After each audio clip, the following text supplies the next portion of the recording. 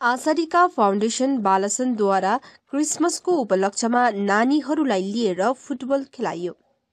Foundation सभापति ऋत्विक तामाङको team Brazil बनाम सचिव रूपेश छेत्रीको टिम इङ्ल्यान्ड माझ भिडान्त भयो जसमा एक एक गोलको बराबरी भयो। आजको निर्णायक सन्तोष लामाले गरेका थिए।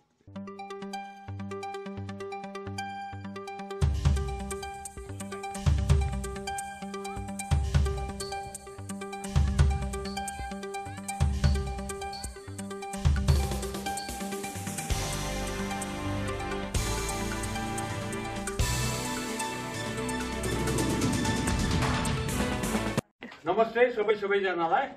आज हामी धोत्रिया बालासनमा आएको छौँ। मजा पनि लाग्यो एकदमै मजा भन्दा पनि मजा आयो।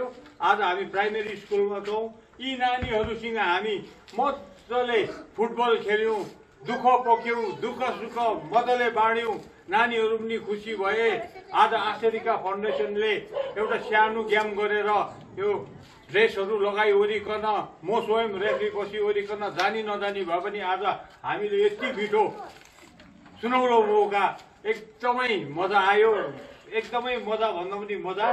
मेरो सबैभन्दा यो श्रेय यहाँ हाम्रो ऋतिक तामाङलाई जान्छ र हाम्रो रूपेश सरलाई जान्छ। अनि हामी आज सुनादाबाट आइवरिकन यति मजाले हामीले नानीहरूलाई खुसी पार्न सक्यौँ त्यसमा हामी खुसी छौँ। अनि आश्चर्यका फाउन्डेसनले यस्तो कामहरू भविष्यमा पनि अझै गर्दै जाओस्। यो नानीहरूलाई सोद्धाखेरि यो नानीहरूले पनि मजा आयो भन्दैछ। र आज यो नानीहरूलाई खेलाइवरिकन उहाँ ऋतिक तामाङज्यूको बाहुलीबाट जित्नेलाई दुई सय रुपियाँ अनि हार्नेलाई एक एक सय रुपियाँ पकेट मनी दिएको छ।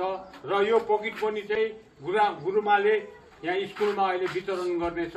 सबैले थापिवरिकन गुरामालाई दिनुभएको छ। गुरामा हजुरले यो पैसा रुपियाँ सबैलाई ठिक ठिकसँग बुझाइदिनुहुन्छ भन्ने नम्र निवेदन गर्दछु। साथै आशारिका फाउन्डेसनलाई धेरै धेरै धन्यवाद दिँदै आजको यो सुनौलो दिनलाई यतिमै समाप्त गर्न चाहन्छु। धन्यवाद।